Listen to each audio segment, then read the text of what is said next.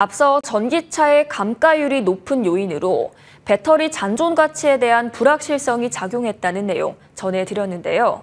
오늘은 중고 전기차가 온다 시리즈 두 번째로 배터리 불안을 해소하기 위한 노력들을 소개합니다. 현대차 그룹은 배터리 잔존 가치에 자체 등급제를 도입해 소비자에게 제공을 하고 정부는 완성차 배터리 업계와 협의체를 구성해 배터리 기본 정보 공유 방안을 논의하고 있는데요. 민경빈 기자가 취재했습니다. 경기도 용인시에 위치한 한 중고차 단지. 상품화를 마치고 늘어선 차량들 사이로 전기차가 눈에 띕니다. 기아가 실제 판매 중인 인증 중고차입니다. 흠집 하나 없는 외관에 실내도 새 차에 손색 없습니다. 무엇보다 중고 전기차의 배터리 성능 불안을 없앴습니다. 배터리 잔존 가치와 신차 대비 1회 충전 주행 가능 거리를 복합적으로 등급화한 겁니다. 모두 6단계로 나뉜 전기차 중 3등급 이내의 차량만 판매합니다.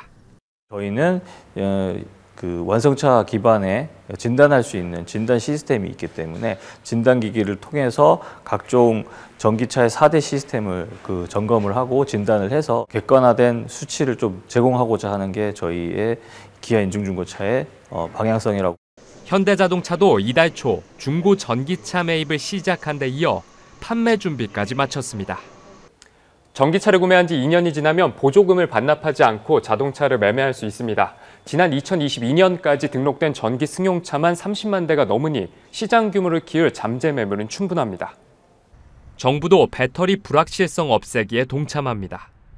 환경부는 지난해 하반기 전기차 및 충전 안전 인프라 구축 협의회를 구성했습니다. 이어 올해 상반기 내로 국내외 완성차 업체와 협의를 마치고 배터리 안전 정보를 공유한다는 계획입니다. 셀에서 이 전압이 얼마큼 걸리는지 또 이게 모여서 모듈이 전압이 얼마큼 되는지 여기에 흐르는 전류가 얼마인지 또 온도가 어떻게 되는지 이런 정보를 실시간으로 알므로 인해서 배터리 상태를 알 수가 있어요. 이 파라미터가 모이게 되면은 배터리의 충전 효율, 잔존 가치를 쉽게 판단을 할 수가 있다는 겁니다. 지난해 기준 국내 전기차 수는 57만 대. 정부는 2030년까지 전기차 420만 대 보급을 목표로 하고 있습니다. 신차만으론 턱없이 부족한 목표 달성을 위해 중고 전기차 시장에 주목해야 할 때입니다. 머니투데이 방송 민경빈입니다.